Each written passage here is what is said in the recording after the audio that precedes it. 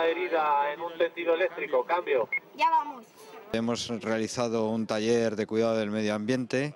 eh, un día antes que sea el Día de Educación Ambiental que, se, que celebraremos mañana y este es un programa que la Comunidad de Madrid con el Cuerpo de Agentes Forestales viene realizando desde hace año y medio en los colegios de primaria y que este año también se han incorporado los de secundaria. Lo que pretende es sensibilizar a nuestros pequeños, a los más jóvenes, con la necesidad de cuidar el medio ambiente en general y el de Madrid en particular, que es un medio ambiente muy rico y variado, con un ecosistema muy amplio y que requiere del esfuerzo de todos, no solo de las administraciones, sino también de los particulares y de los más jóvenes en esa concienciación. Los agentes forestales han montado como dos talleres, uno donde les están enseñando todo el material que utilizan en la prevención, detección y extinción de los incendios que se puedan producir en nuestra región y por otro lado también les enseñan cuáles son las plantas, animales, la fauna y la flora que se pueden encontrar también en los distintos municipios. También hemos tenido la oportunidad de ver trabajar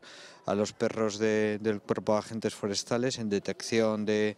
cebos, una labor muy, muy importante también que se realiza porque se, utiliza en prácticas eh, ilegales para la recogida de, de animales. Es un taller participativo dividido en esos dos bloques y lo importante, como decía al principio, es sobre todo que los más jóvenes se conciencien de la importancia que es el medio ambiente.